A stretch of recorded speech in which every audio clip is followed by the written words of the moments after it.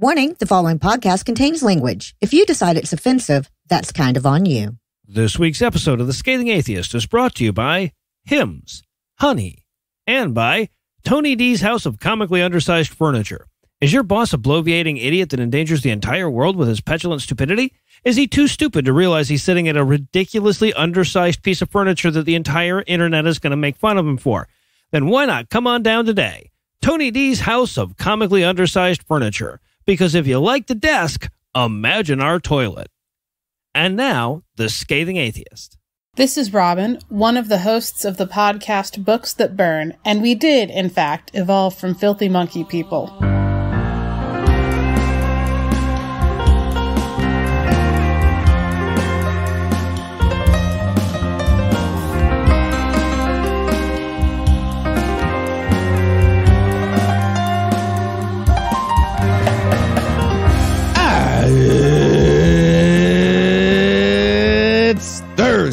Thursday. It's December 3rd.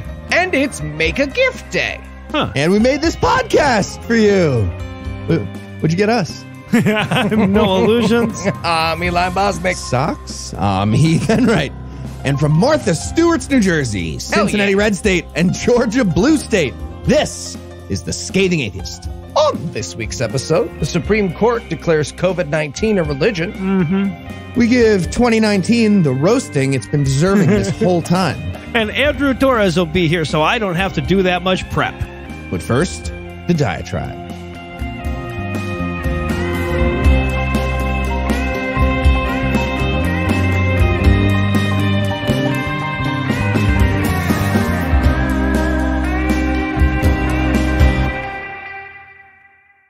I think the best refutation I've ever heard to the argument that religion helps people cope with death is listening to religious people try to cope with death.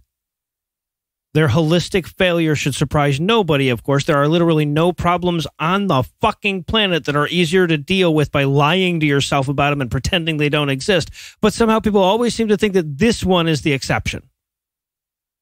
So, look, I don't mean to keep laying down such heavy diatribes on you, but I can either talk about what I'm thinking about or I can offer you up thoughtless words. And right now, I'm dealing with a man that's at the end of his life trying to come to grips with that fact. And it's really hard to think about anything else when that's happening right next to you, especially when so much diatribe worthy shit keeps happening in conjunction with it. And I have to not yell fuck at anybody when it happens because I'm in a hospital at the moment. Like, let me give you a great example. And luckily, I wasn't here for this one because there's only so much not yelling fuck at anybody that I've got in me. The other day, my father in law calls up a childhood friend of his that he still talks to, you know, eh, once every year or two. And he has a pretty hard conversation with him. He wants this buddy of his to be the guy that tells their whole crew when he dies, right? Rather than reading about it in the paper or hearing about it two years later or something, he wants this guy to call up all their mutual friends after the fact and tell them that he's gone. So far, so depressing. But it turned out that the old friend in question became a pastor somewhere along the way. So the conversation winds up being way worse than it needs to be because instead of just saying, Yes, of course, I will honor my friend's dying wishes. Is there anything else that I can do for you? This asshole starts yammering about making himself right with the Lord and accepting Jesus as his personal savior. But it gets worse. Okay. Because not only is he putting my father in law through that fucking ecclesiastical timeshare pitch bullshit when he should be shutting the fuck up and letting his friend talk, he also denies the premise. He starts talking about all that miraculous healing that Jesus can offer for the low, low price of one immortal soul. He's telling them not to lose hope and that God knows things that them doctors don't know and, and he just needs to put his hands together and trust in Jesus Christ Almighty. Can I get an amen? Now, you know, look, like I've said before, my father in law is vaguely religious. If you ask him his religion, he'll tell you Christian, but there'll be a little tiny question mark at the end of the statement, right? He, he's not a churchgoer, and he is certainly not a person who wants to waste any of his precious remaining minutes of life listening to some fucking pastor yammer on about how he has just the right magical spell for a time like this, and the last fucking thing he needs is false hope. Can you imagine how hard it is to make that goddamn call? To hold the awareness of one's own mortality in the front of your mind long enough to get to the point of that conversation, and then to have somebody ignore the profundity of that awareness on the word of a goddamn fairy tale is more than stupid. It's selfish. It's a way for that pastor to avoid having to have a really hard conversation, to hide from reality instead of sharing in my father in law's pain for a minute and really being a fucking friend. Because it's easier to pretend that there's a miracle around the corner than it is to recognize that he actually is going to come to the same end as the rest of us.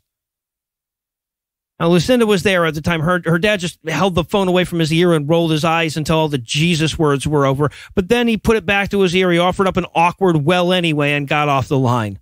And then she, of course, swooped in to try to undo all the damage that that jackass pastor just did. Instead of being comforted, he'd been dismissed. And, it's not necessarily because the dude is a bad friend or a bad pastor or even a bad person. It's because religion hadn't equipped him with the tools that he would need to help a person in that situation. Despite how regularly they trot it out as their specialty, they never actually learn how to help people cope with death. Now, now, granted, that's a huge task. It might even be an impossible task. But it's not like the rest of us gave it to them as an assignment. It's something they took on for themselves. In fact, it's something that they jealously guard whenever more qualified end of life counselors try to encroach on their fucking turf.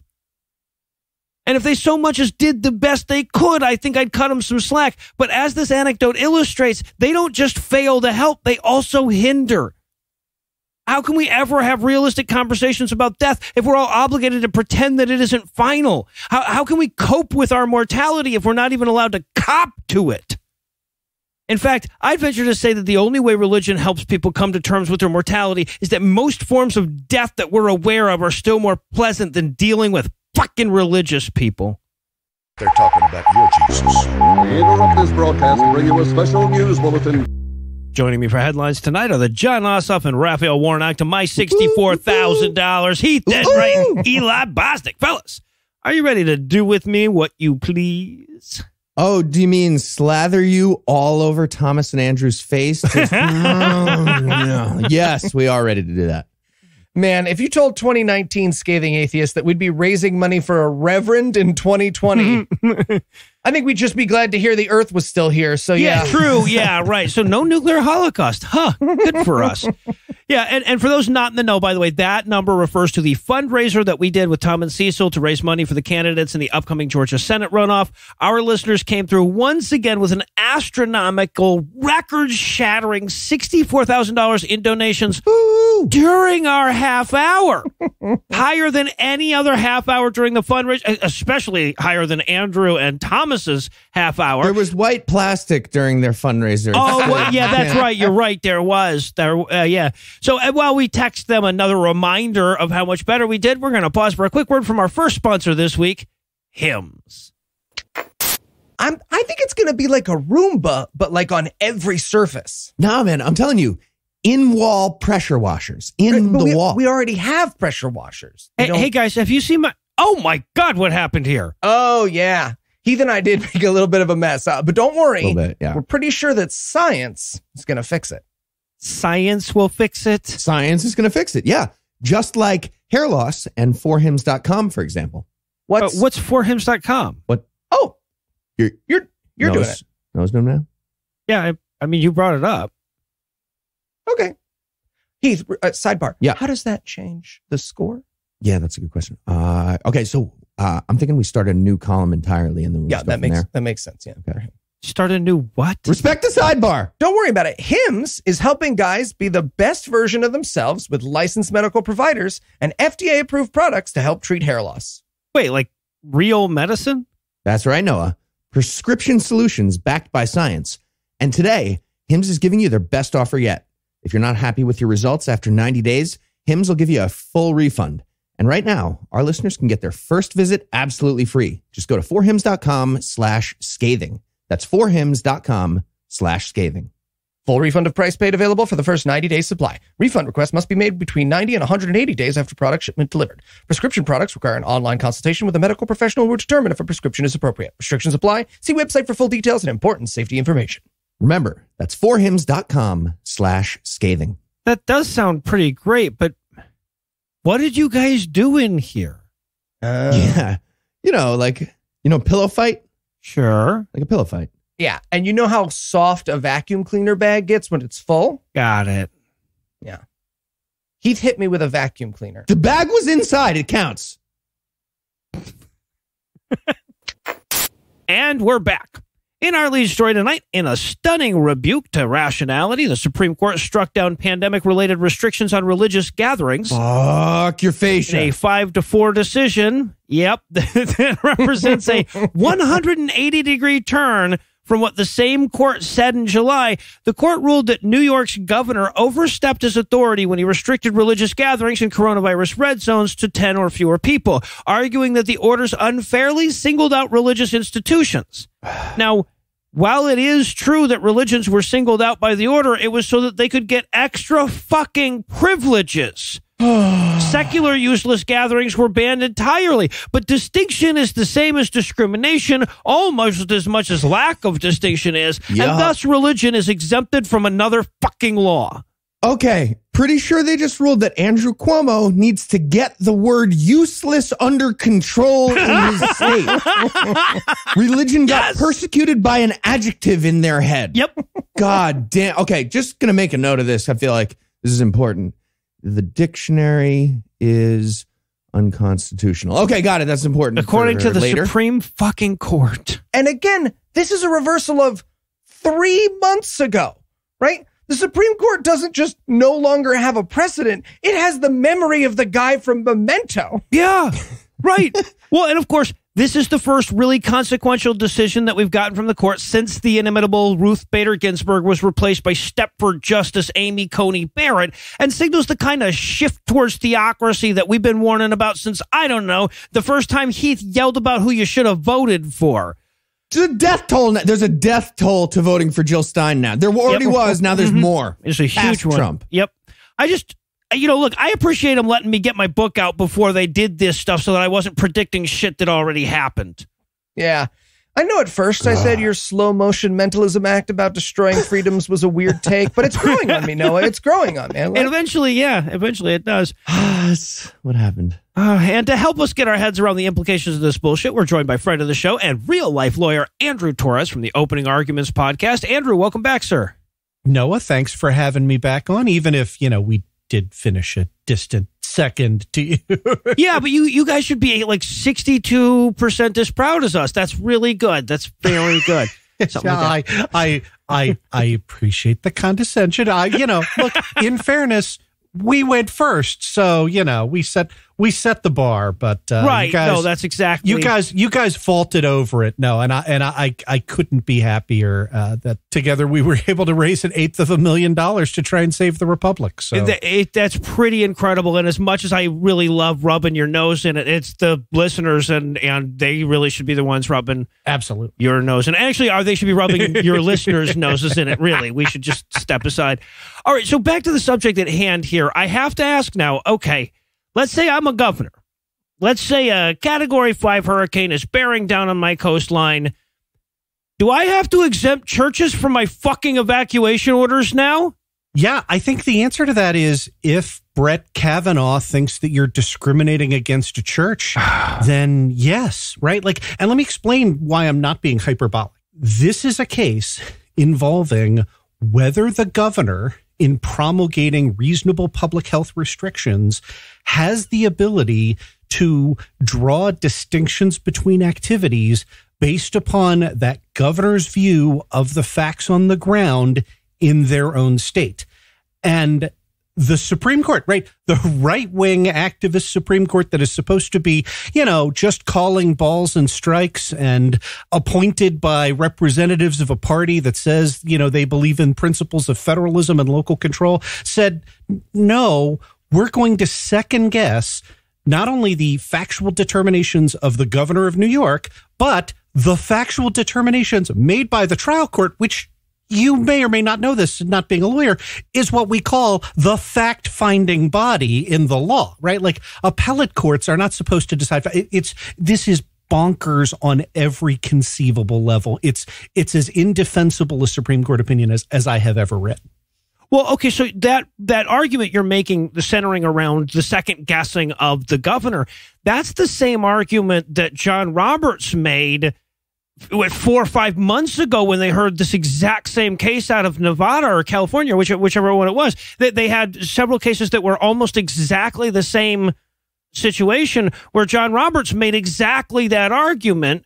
Of course, this was back when we had RBG, so you know the good guys won that time. How unusual is it for the Supreme Court to so fully reverse itself four months down the road like this? Again, the word that would come to mind is unprecedented, but I'm thinking that precedent is about to, you know, in an Orwellian way, lose all of its meaning. Look, this is the court not just disregarding the case it decided four months ago because the alignment of the court has changed, but also disregarding a principle that it has faithfully upheld for 115 years, right? So it is both very, very new and very, very old. Let me explain both of those, right?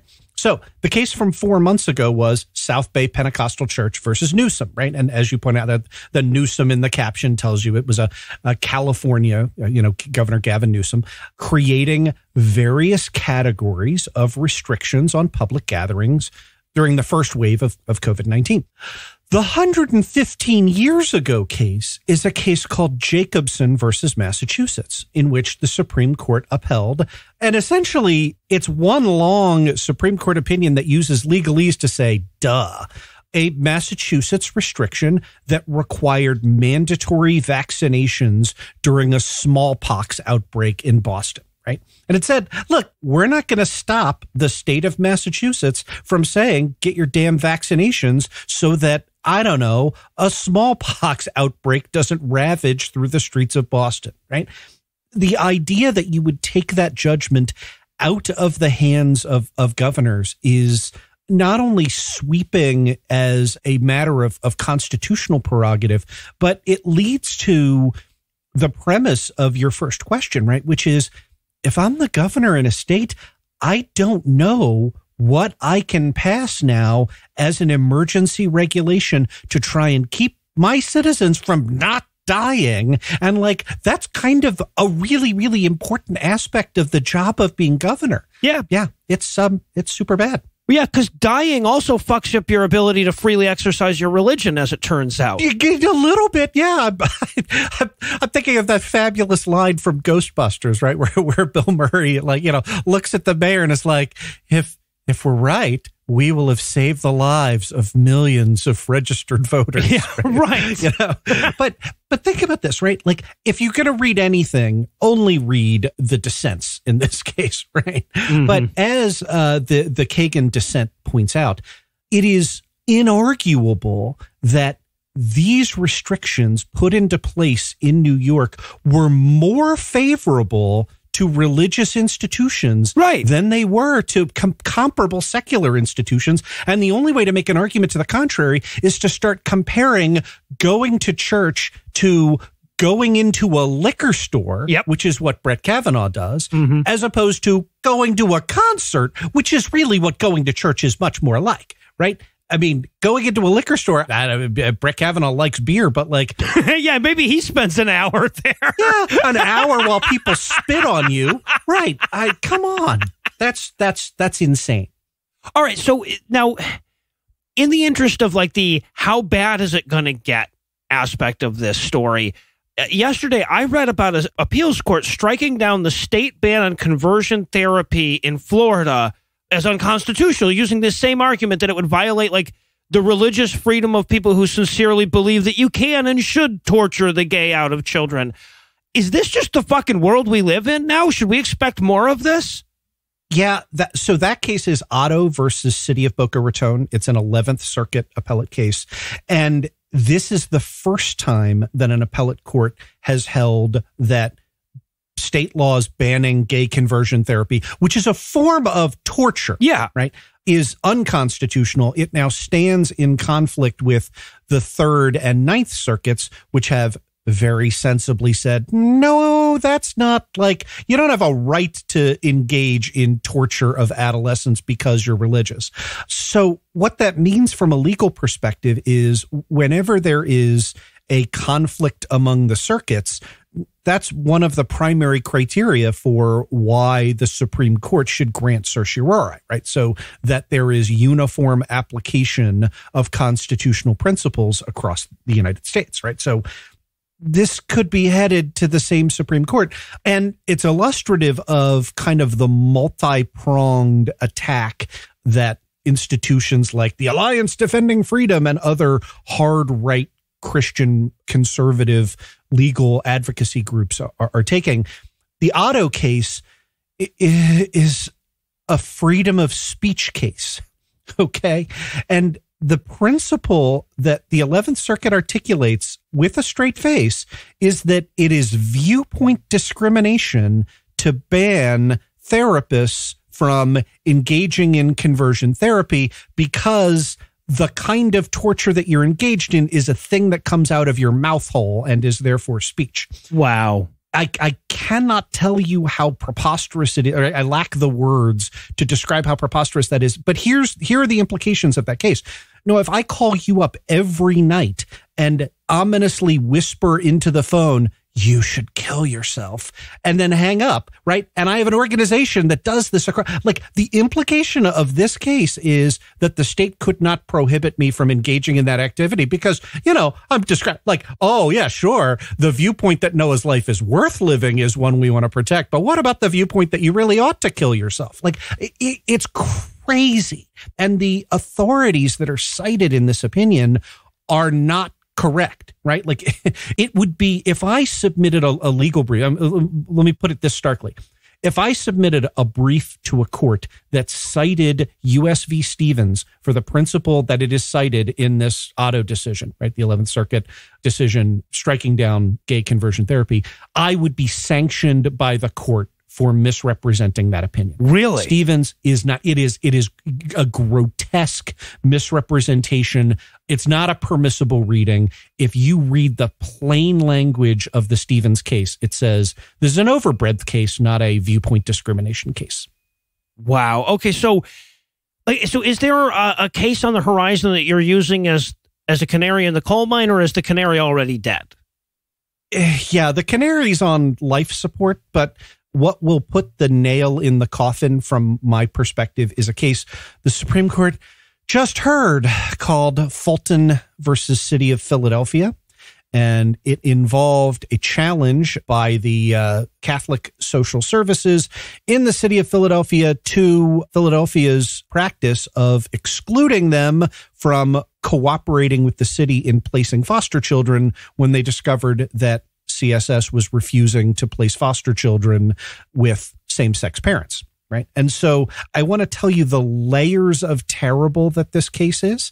First is it's defending a terrible policy, right? It says yeah. Philadelphia can't decide now not to refer foster if, if it goes the way I expect it will, that Philadelphia will be prevented from saying, as a matter of public policy, uh, we don't want your help on this anymore, CSS, because you're bigots. So that will be bad. It will additionally be bad because the oral arguments and the briefings in the case focused on the scope of the rights protected by the Obergefell decision. And so while this can't directly overrule Obergefell because that's not the posture of the case, right? It's not procedurally the question that's before it. It absolutely could lay the groundwork for creating a, you know, separate but equal mm-hmm. classification mm-hmm. for same-sex marriages, which I expect will happen. And as if this, you know, turd Sunday needs a cherry on top, the question posed specifically to the Supreme Court is that it should overrule employment division versus Smith, which we've talked about. That's the peyote case. It's probably the only logically consistent opinion Antonin Scalia wrote in his 30 years on the Supreme Court. That's the one that says, you know, if you have a neutral law of general applicability, that just because you're religious, you don't get an exception to it that principle obviously has been gutted by all of the the cases to come before the Supreme Court recently, Trinity Lutheran and Masterpiece Cake Shop being the most prominent. But um, you know, it's still technically good law, and in this case, the petitioners, right, Catholic Social Services, have have asked the Supreme Court, why don't you get rid of that that case? Just exit from the books, and you know, as you began with this this is Supreme Court that doesn't care about precedent from four months ago or 115 years ago. So the idea that they should care about precedent from 30 years ago, you know, I don't have a lot of faith that uh, that they're going to come out the, the right way. So Wow. it's Supreme Court's going to be bad for a real long time. No. Yeah, probably as long as you and I are alive. I wonder who everybody should have voted for. Yeah. Well, Andrew, I, I really appreciate you dropping by to help clarify. to cast a big dark cloud over, over the yeah, entirety. yeah, we're going to do comedy after this. Uh, of course, if our listeners would like to hear more of Andrew calmly anticipating our inevitable demise as a nation, be sure to check the show notes for a link to the opening arguments podcast. Andrew, thanks again. Oh, thanks so much for having me. And apparently, Heath and Eli wandered off during that conversation because Eli can get away with more shit if he knows that Andrew's going to be occupied for a minute. So while I hunt them up desperately, we're going to offer up a couple of headlines that we did in the past few weeks that didn't quite make it into the show. And in Make the Yuletide Gay News, the Christian activist group 1 Million Moms found yet another thing to be pissed off about this week. And no, it still isn't how much less than 1 million of them there are. well, it, well, it's not just that anyway. Yeah. It's not. Mm-hmm. No, it is not. So, tis the season to be offended by the imaginary war on Christmas, and OMM is getting into the spirit early this year by taking on a Hallmark movie about a gay couple trying to adopt a child called The Christmas House. So, here's what the institutional embodiment of the Karen haircut had to say about that. Um, it's called the Goslin. Read a fucking Cosmo. you know weird stuff. I have fun facts, is what I have. Okay. Quote, Goslin. So many people feel betrayed by Hallmark, which used to be set apart from other channels because of the wholesome, family friendly content it aired. However, in less than one year, the network decided not only to air LGBTQ commercials, What they're advertising for gayness now? Which 1 million moms petitioned and began to boycott in December of 2019, but also to produce and air movies pushing the gay agenda by featuring lead gay characters in homosexual relationships. well, you weren't watching anyway, right? Like, oh, you were afraid you were going to see this while you were boycotting it? No, you stopped watching. It's an excellent point. I guess they got a team of like sympathetic heathens that they pay to check on stuff. It's like a Shabbos goy to Oh, turn off the go. stove on Saturday if you're Orthodox Jewish. She concludes, quote, the once conservative network has caved to LGBTQ pressure and Oh, that sounds sexy. has done a 180 from the wholesome content the channel once aired. And the network is now catering to the left. End quote. That is the most accidentally sexy sentence they have ever said. I want to cave to LGBTQ pressure and do a 180. Yeah, no, it's it's rough, guys. Tucker Carlson isn't even parroting Giuliani's latest conspiracy theories anymore. Either, nowhere is safe for you. Nowhere. And in alternative vax news, religion is going to murder more people by refusing the COVID vaccine. They're going to murder a whole bunch more than they already have. They're already announcing the murder plot out loud, and they're already starting to legislate the murder plot. And again, just to be clear, that's on top of their ongoing murder plot that's been working all year. But now that the opposite of religion might have finally solved the problem with a vaccine, we have pastors talking about refusing the injection of NutriBullet dead baby juice on moral grounds. We have state legislatures trying to preserve the religious right of plaguing. And meanwhile, we are not allowed to do any murder stuff to them. now, Heath, don't worry. We just need 70% of Americans to make a responsible and ethical medical choice. And if they don't, this hell will last forever. So don't Great. worry about it. Just sit back. Gonna be awesome. So, the latest stem cell panic comes from Bishop Joseph Brennan, of Fresno, California, who called the vaccines from Pfizer and Moderna morally unacceptable. A, a Dutch fetus died in 1973, and Brennan won't allow us to kill him again. And he wants to right that wrong with more plague and death for to go along with his pro-life position. Just for the record, neither vaccine contains any babies or No. fetal cells or No. even designer imposter fetal cells. Nope. The Moderna version may have used that Dutch baby for a test, but not as an ingredient. But regardless, the science doesn't matter to the bishop, and that became extra clear when he described a vaccine as unethical if it involved, quote, material that was cast off from artificial insemination. Dude, the pre cum is just an emulsifier. We could have used eggs. Yeah.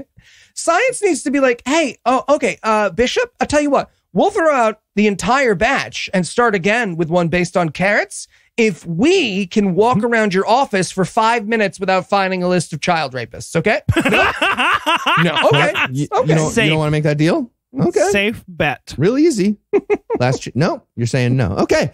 Yeah. And uh, Bishop Brennan kept talking for a while after that. But when you describe a vaccine as made of cum, it's hard for people to keep listening to your It point. is. So Yeah. we're going to move on to the state of Tennessee, where GOP state lawmakers decided that right now is a great time to get rid of their existing vaccination policy. Hmm. The current law says you're allowed to have a religious exemption for your unvaccinated kid at school, except if there's literally a giant global pandemic. And Republicans want to get rid of that last part. Yeah. from the law. Everything after except. Yeah. Yeah, COVID is like if all the American deaths in World War II had come from looking down the wrong end of your gun. well, but no, but it's never just them, right? So it'd be like looking down the wrong end of your grenade launcher Yeah, instead. yeah. yeah. So I've learned something important living here in Cincinnati. When California bishops and Tennessee Republicans are being stupid, you can be sure that Ohio is handing someone a beer and yelling mm-hmm. something vaguely aggressive as they stand up, like all day or something like that. And this week, that job was handled by Ohio's GOP state representative, Jeffrey Todd Smith. And yes, before you ask, he goes by J. Todd Smith, like an asshole. bet he does. And yes, also before you ask, he was a minister for 20 years. You bet he was. That's his experience for being a legislator.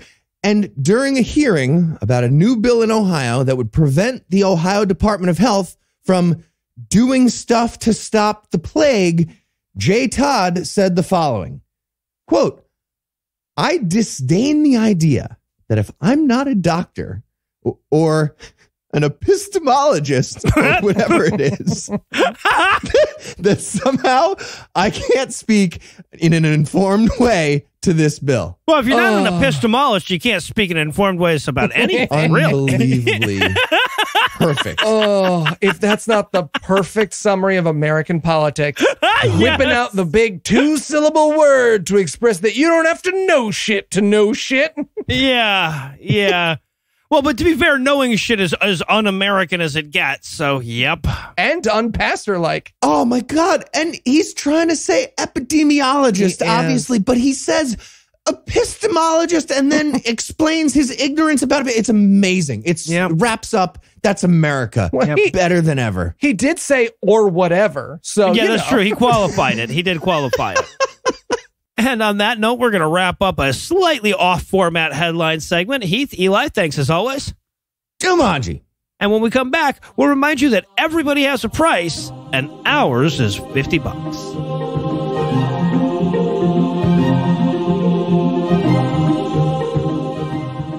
And mango nectar, and of course a funnel for my mango nectar. Okay, my turn. My turn. I- I am almost done. Hurry You have to up. Let me finish. Heath, Eli, what's all the. Come on. Why are you sitting on my computer? Are you guys playing Warmy Warm again? No, no, we, we stopped Actually, no. that. We promise. This is different. We're, we're just telling your computer what we want for Christmas. Well, I would be because it's my turn. If Eli wasn't hogging it, I would be going on my turn. This is warmy warm all over again. Am not. Guys, why are you telling my computer what you want for Christmas? Because of honey. Wait, is that the same honey that automatically searches for promo codes online? Yeah. That's the one. But with Honey, you can also make a list of all the holiday gifts you want from certain stores, and then Honey will email you when the price drops on anything on your list. Wait, really? Yeah. And this year, they're helping pay for $1 million worth of gifts. Just add honey to your computer, create a free account, and throw some holiday gifts on your drop list for a chance to win.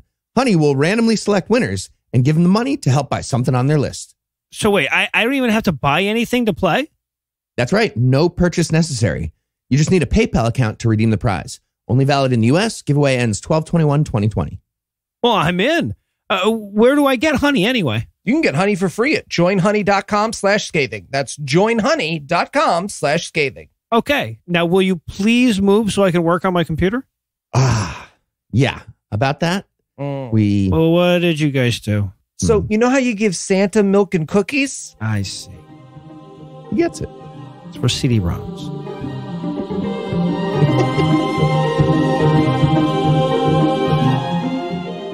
Have a bunch more long overdue thanks and insults from 2019's Vulgarity for Charity donors to knock out today. But before we get to that, we need to thank the donors from last Friday one more time for helping Tom and Cecil's fundraiser to save the Senate be so successful.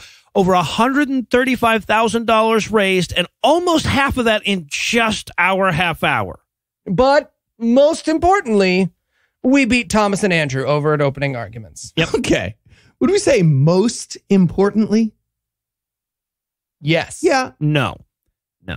Also, wanted to toss out an extra special thanks to James, who kicked off our half hour with a $5,000 donation in the first five seconds, putting us on an early pace to raise over $1.8 million. And for his astronomical donation, all James asked for in return was a shout out to Amber from her weirdo. So, uh, gents, shout out to Amber. Amber. Ooh, ooh, ooh, Ear to whizzy. Ooh, ooh. Ear to whizzy. Right. Ooh. All right, so let's get to this. Uh, Heath, the first one's for you. Matthew would like a roast of the five count. A roast of the five count. Okay. So Matthew actually wanted to hear Morgan personally roast the five count himself, but Morgan couldn't make it because he's scrubbing the noise of Eli reorganizing his potato chip collection during the last five count. it's fucking terrifying how badly this goes every time. We've been doing this so long, it never goes well. We could have Walter White making pallets of Adderall for Eli, and Eli still wouldn't have enough focus to spend three entire seconds in the deafening silence of his soul and then say four or five. Noah says one, and Eli turns into fucking Roger Rabbit hearing shaving a haircut. you can hear Eli shaking. You can hear his teeth chattering. Yeah. All right, so Eli, Mike and Brandy Long would like a roast of the Seattle Transit Authority. Ah, yes, the Seattle Transit Authority, the organization with the grace and posture of a recently turned down American Idol contestant. They they literally tried to cancel the vote when Seattle officially told them to fuck themselves. And if it weren't for Donald Trump, they'd be the most ridiculous reaction to a vote we'd heard of in the last 2 years. All right, Noah, you're up next. Sophie would like a roast of her acquaintance, Adam. Yeah, this was actually part of a Christmas gift for her boyfriend, but like not the Christmas that our current timing would lead you to believe. They're all So- Christmases, don't Yeah, Chris, that's true. That's Christmas. true. This one nitpick. counts too. So Adam is a squeaky dumbass that her boyfriend used to work for, and I'd make fun of his appearance, but he's blind, so that seems unfair. But Is he actually? he knows he sounds like Angelica Pickles on helium, so you know. also, he is a Mormon. I just point that out so that everyone knows it is not true that even blind people can see through Joseph Smith's shit. At least not all of them. all right, so Eli, I got another one here for you. James would like a roast for chiropractor and podcaster Wade Sp- Sprovero. Yeah, who cares? Uh, Wade is a mega trumper as well. So between that and chiropractic, it's hard to know if this guy believes in any real things. He also looks like if Jeff Foxworthy and Jeff Foxworthy's golf caddy were in the middle of using a face swap filter on Instagram. If a third mulligan could be a face, it's Wade's face. and he, the excellently named Vile Blood Annalise, would like a roast of her husband, Jason. All right, excellent pick. Jason looks like a postal worker who wants to talk with you. and uh, you know it's coming and there's nothing you can fucking do about it. He's like, "How's it going?" You're trying to come up with, you know, any non-committal answer that doesn't lead to something and you're just like, "I'm I'm good. We're done." But that turns into a 2-hour explanation about his cult that's based on the laws of the Destiny 2 universe. It's fucking exhausting. All right, so Eli got an interesting challenge here. Michael would like you to roast his dog Foxy as his former dog Duchess. Ah, all right. Uh, we uh, okay. Chihuahuas. Uh, Foxy, Foxy, it's me, Duchess, calling you from dog heaven, which I am pleased to report is just the house without you in it. Seriously, they offered me a blowjob fountain, and I told them, nope, honestly, just a meal and a nap without being attacked by the Taco Bell dog's crazy ex, and I'll be happy. I'll be seeing you, Foxy. I mean, hopefully not soon, but sooner if you don't stop cock blocking your owners, man. Just all right. let them do it. That voice ended up more racially sensitive than I expected. I'm yeah, no, I'm with you. I'm with you. Uh huh. When I said Chihuahua, I heard them audibly gasp. yep, you did.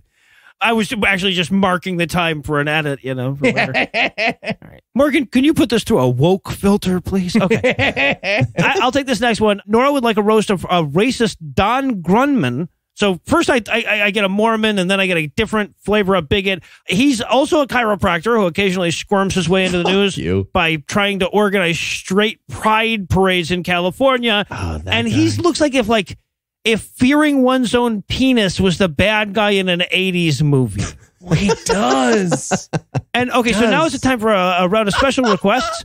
All right, so Eli, Laura Ann wants a roast for the leaders of Canada's Conservative Party as a birthday gift for her husband Andrew. Now, granted, this was in 2019, but I'm guessing his birthday is still December 1st. So uh, let's let's get that birthday roast going. Exactly. Still birthday. Canada's Conservative Party, you fucking losers. You are the crystal Pepsi of conservatism.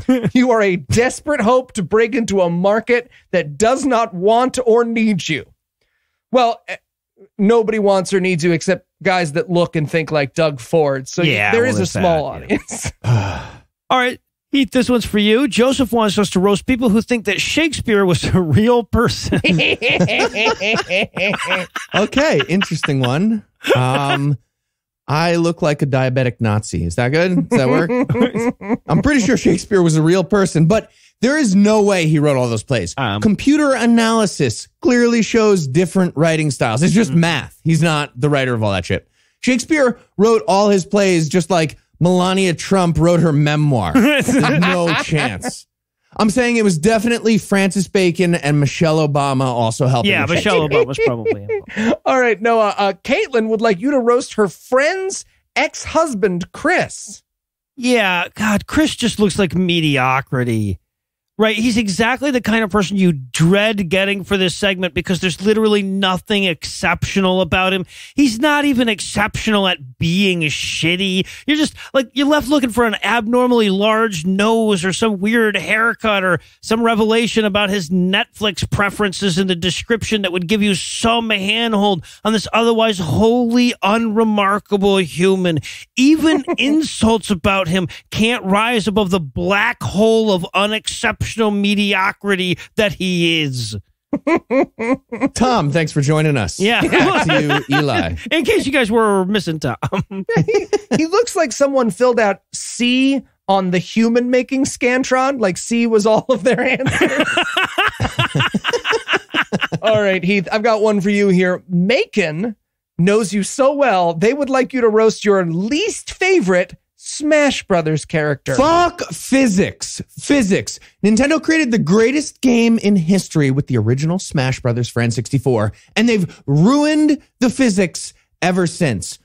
But okay, if I have to roast a character from the, again, impeccable original, fuck Nintendo a little bit more for making Link a piece of shit right. in that original. yes. Yes. They took one of their all-time greatest characters and gave him the jumping ability of an overweight podcaster with melanoma. That was not fun for any Link fans. And a bunch of you are probably thinking, "No, I'm amazing with Link." No, you're not. No, you're not. you're maybe thinking of the newer games or you're thinking of Dunning-Kruger because that's what you have. no, he's terrible. But no, I'm great with the boomerang, the bombs. No, you're not. Shh. No, you're not. I just spiked you with Kirby while you said that. well, Oh, Kirby no. was so overpowered in that too. Yeah. the best, and they Yeah. they underpowered him for all Yeah. the. It's Mhm. I don't like anything that's happened since. we have yet to find the listener who has defeated Heath at Smash Brothers. All right, we will not. Noah, I've got another one for you here. Kyle would like you to roast Canadian politician Maxime Bernier. All right. So apparently, Maxime Bernier is the founder of the People's Party of Canada, which is like, it's like if a faction of the Tea Party broke off to keep out the Chinese, right? he inherited his political career from his dad, and I'm sure this title doesn't mean what it sounds like it means, but when he was in Parliament, one of his job titles was opposition critic for innovation, science, and economic development. What? so, How can you oppose? God damn it. right. Okay, well, yeah. As long as you ignore what that job probably is, it sums up his career perfectly. Also, he looks like a fucking life coach that specializes in people who just got me too'd. All right, Eli. Bill gave us two hundred dollars. This is going to be tasteful. Two hundred dollars for you to roast Michael J. Fox. Ugh. Should Eli's All right. going to do this one? Yeah, give me one second. I am just going to check if he is dead before I do this. That's Nope, still alive. Yeah, still for alive. now. reasonable. Check. Okay, dude, we get it. You have paint mixer syndrome or whatever. What? Jesus. God You're a damn bigger it. pain in the ass than Patrick Swayze's rectal cancer, and half is relevant. also, why are you always on the cover of a magazine at the grocery store talking about your thing? You haven't been in a movie since Noah had a hair on his balls. What? Why are you still getting calls from Us Weekly? Wait, uh, when did I? Thank you. Okay. Calls from us or uh, us weekly? Us Weekly. Are we calling him? Thank you. So next up, Noah, as we come to the anniversary of your quitting smoking, Robert would like a roast of the last cigarette you smoked. Yeah, fuck you, the last cigarette I smoked. I built you up in my mind like you were going to be some kind of grand orgasmic finale, and you turned out to be a bunch of stinky ass crumbled up leaves that don't even get me high, just like the last one. You're like pulling out pre orgasm because I was bored. All right. so now it's time to limber up for another. Lightning round. The category is dogs. We had an unusually large number of people who wanted their dogs roasted, either because they really hate their fucking dogs or because they love giving to charity. So, uh, You decide. Yeah, exactly. So for this round, I want you guys to tell me what tricks these dogs know that no other dog does. Starting with Joshua, who wants Heath to roast his dog Snots. Okay. Uh, Snots has a really great trick. She has a magical summoning power that conjures another dog and the ability to headbutt that other dog until it disappears when Snots becomes unconscious because she just headbutted the oven door where that identical other dog appears every single time. It's a real thing Snots does. Nice. All right, I'm going to do Tim's dog Ozzy, who likes to pick fights with much larger dogs at the dog park and then lose and then threaten to call his personal injury attorney from behind his dad. and his special trick is the ability to eat garbage while vomiting out the last garbage he ate. Oh. It's like circulatory breathing. That's like Yeah, no, right. trick. It's like drinking water while you're doing the ventriloquism. Impressive. so I- I'll take Conan then, the dog who got a hero medal a couple years ago. And I think we all know the trick that Conan knows stolen valor. First of all, fuck you and fuck this dog. The dog doesn't want your medal. He didn't drop out of high school and head down to the recruitment office. if there was a trick he could learn, it would be to have asked and tell. All right, so Heath, how about Rick's dog Thor? Thor's a cop. Cop. He's a cop. He's a cop dog. Such an obvious narc. We got pictures of him. He looks like he always has a thought bubble that says Blue Lives Matter right above his head. but he does have a trick. He is the only MAGA dog who can dress up as Champ Biden and trick Joe Biden into breaking his foot while they're playing together. Oh, nice. All right. Noah, what trick does Troy's dog Zeke know? I love how he sends us a picture of Zeke all high as fuck after getting into his dad's edibles. right? Like so he is so clearly on the cusp of realizing he was the good boy all along and he's dealing with all the implications of that shit. And his special trick obviously is is rolling a cross joint. Oh, you love to see it. Yeah. Those are so stupid. They really Such a are. waste of weed. Fuck you. Everybody who's rolling cross joints. Get out of here. Smoke two I don't joints like a smoke fucking anything grown but up. cross joints. Sometimes though it makes a moment special. Okay. You know what makes it special? Getting extra high. Stupid. stupid idea. All right. Eli, you're up next. Tell us about Edgar's dog, Bella Wupp. All right. Well, Bella humps her bed, never listens, and runs away when anyone talks to her. So the trick she probably knows is podcast. All right, and to close out the spiking round, Heath, Caleb wants you to roast a dog in his co-working space named Tulip. So Tulip looks like she's working a window in the red light district all the time, but not well. Not well at all. Like big props to all the skilled prostitutes out there. Nothing but respect. But Tulip is not one of them. She's just like clumsily smushing her vagina against the glass. Like, like she doesn't know she's actually inside the store. Like she's in it and nobody else is. But to be clear, in a bad way, I feel like I didn't Yeah, describe- right. like that, Yeah. but badly. Yet somehow this old dog has plenty of new tricks every day. Excellent. All right, so let's wrap up with a round of group roasts. These folks were high rollers who tossed us the big bucks for a roast from everybody. So let's take it home with some of them, starting with Emma, who wanted us to roast anti vaxxers. Fuck your faces, Yeah. all of you. You're, you're the reason I'm collecting all the Infinity Stones. You the only thing Thanos did wrong was snap at random. Right. Now, okay, that's a joke about mass murder. I'm not actually saying we should mass murder anybody, but here's a not joke. Coward. You make it hard to argue against a war crime. Just think about that. You make that difficult. You're the exception in the Geneva Conventions to the infinity war crime. They're thinking about that because of you.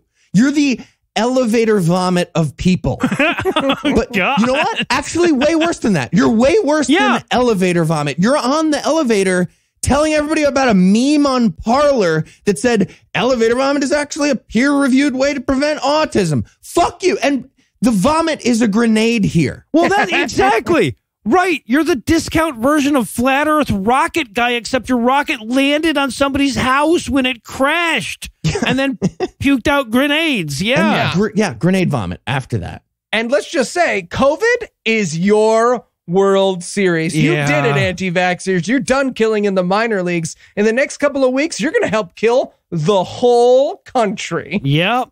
Yeah. All right. So uh, Michael would like a roast of Randy Forbes, the founder of Project Blitz. You have to Google Randy Forbes. Randy looks like he just farted and he's going to say, Why, yes, it's one of mine. he looks like he spends the entire PTA meeting loudly yelling at a contractor about the work he's having done on his fuck dungeon. Also, he has like a a reverse comb over. Like like Yeah. somehow the receding hairline is being stretched over the parts that still have hair. He's he's balding diagonally. Yeah. Yeah, there's like a scary pressure building up. It feels like it's going to explode Yes, back right, the other way all of a sudden, hurt everybody. and by the way, you're the other reason I'm collecting all the Infinity Stones, fucking Project Blitz, and whoever the fuck your name is. In case anyone missed it, Project Blitz is a theocracy super PAC. Yep. They fight for stuff like, for example, the Supreme Court ruling that New York has to let religious people murder everyone with plague on the fucking subway.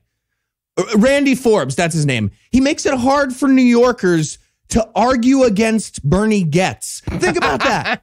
Think about Obviously, again, this is, there's a joke in there. Obviously, you can't just shoot people on the subway, but coward. if you could vanish them with a magic stone and then make them reappear inside like an airtight ball with a hamster wheel in there, that would be great. Iron Man would happily help you out with that, Yeah. especially if you could put Gwyneth Paltrow in the hamster wheel Yep. too. Yes, she has to go in the hamster wheel. All right. So how about Massachusetts Governor Charlie Baker for Matt? Oh, Charlie. Charlie looks like a man whose other stem cells compromised on chin.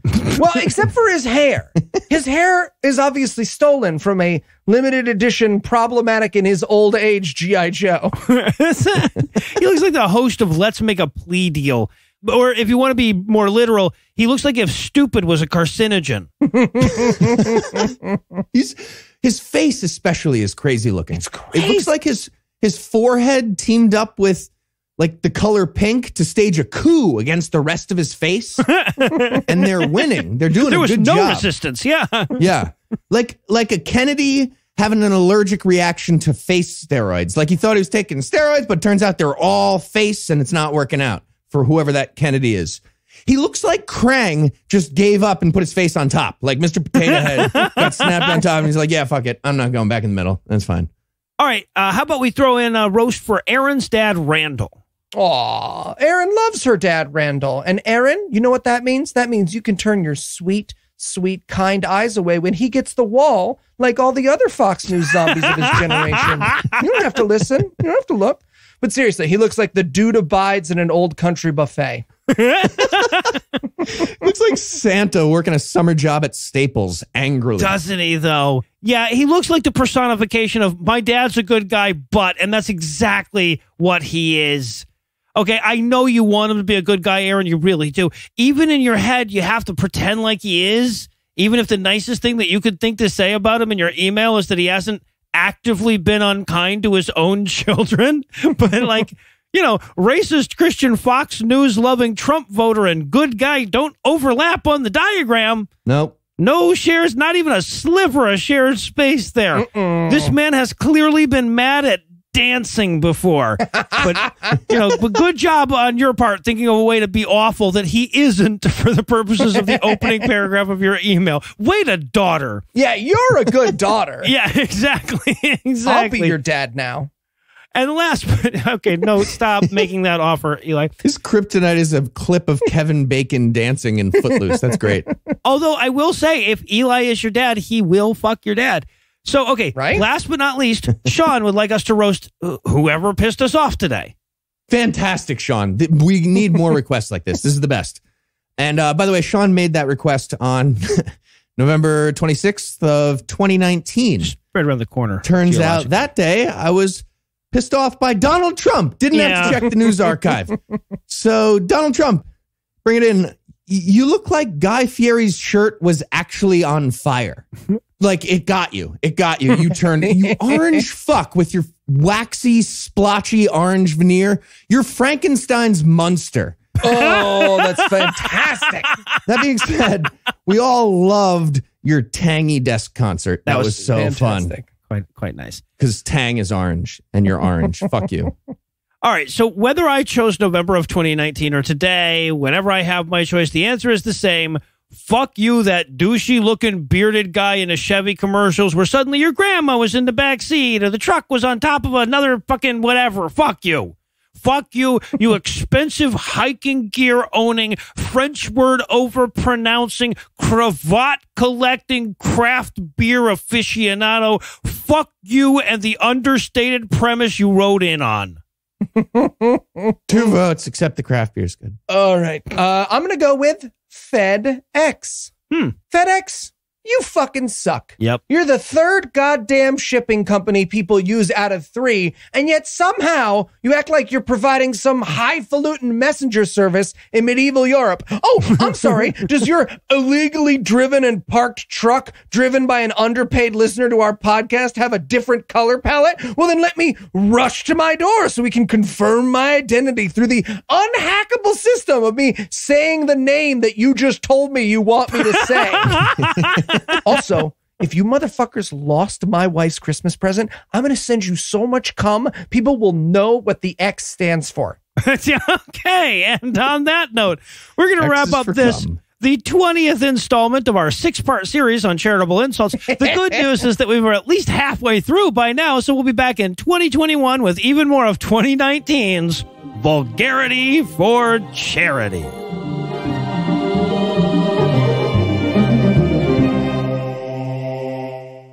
Before we lick our wounds tonight, I want to let you know that if you listen to this episode early enough, you still have time to catch the Skeptics in a Pub Talk that I'm doing for the Good Thinking Society on Thursday at 7 p.m. GMT. That's 2 p.m. Eastern. You'll find a link to that on the show notes or follow at PIATPod on Twitter. We'll have links up all over the place.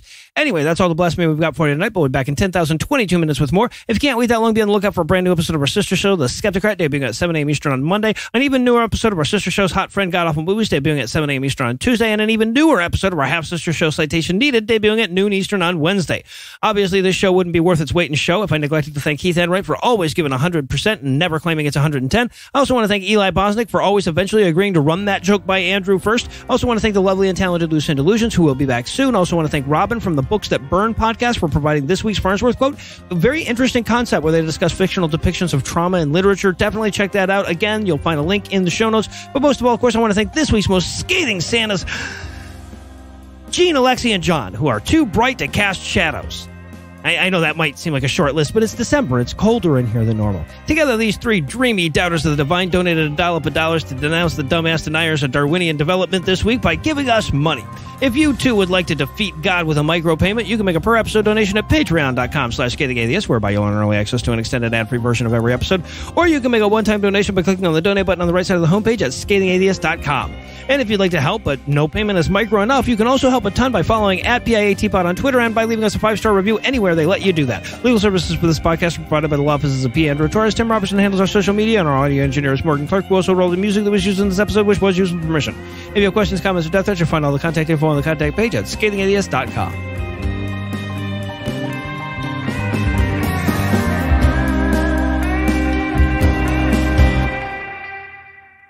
I just pictured me throwing a vacuum cleaner at Eli. he flew across the room. The preceding podcast was a production of Puzzle in a Thunderstorm LLC, copyright 2020, all rights reserved.